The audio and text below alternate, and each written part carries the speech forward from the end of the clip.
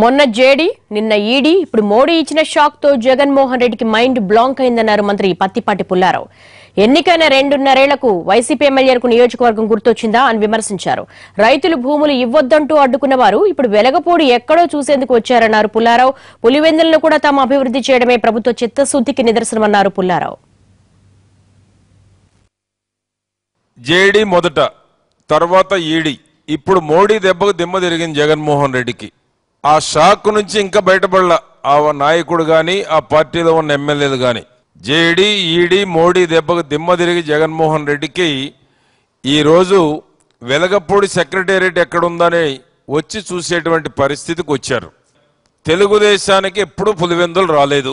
ఈ రోజు పులివెందులకు కూడా చీనీ తోటలకు నీళ్ళు ఇచ్చాం. అక్కడ రైతులు ముఖ్యమంత్రి గారిని కూడా అభినందిస్తున్నారు. ఇంతకన్నా ఉదాహరణ ఇంతకన్నా ఏమి ఎగ్జాంపుల్ చెప్పాలో